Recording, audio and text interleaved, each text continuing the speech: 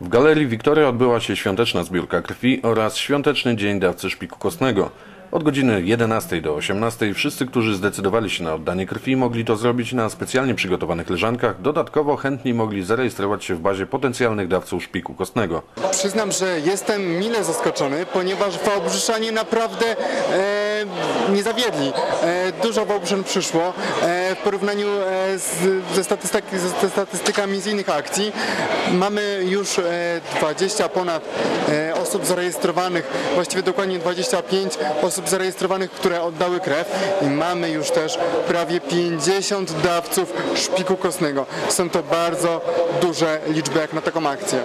Inicjatywa została podjęta i przygotowana przez Fundację Prawno-Pedagogiczną DAR przy współpracy z Dolnośląskim Centrum Krwiodawstwa i Kriolecznictwa w Wałbrzychu oraz Fundacji DKMS. Większość osób nie trzeba było przekonywać, że krew jest bezcennym darem. Potrzebna, ponieważ krew ratuje bardzo lu- ludziom życie i krwi nie można kupić w aptece, tak jak każdy inny lek, który dostaniemy receptę od lekarza i pójdziemy do apteki i sobie kupimy. Ludzie nam nie pomogą, nie będą oddawać krwi, wtedy po prostu nie ma szans na to, żeby uratować życie.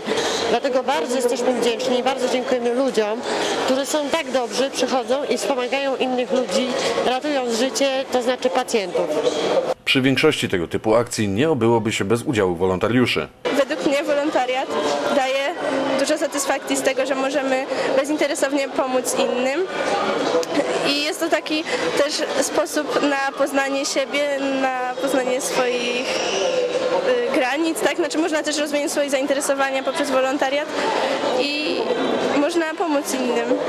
Podczas akcji ponad 30 osób oddało swoją krew, która będzie wykorzystana do pomocy ludziom m.in. poszkodowanym w wypadkach. Z kolei około 50 osób zadeklarowało się jako potencjalni dawcy szpiku kostnego.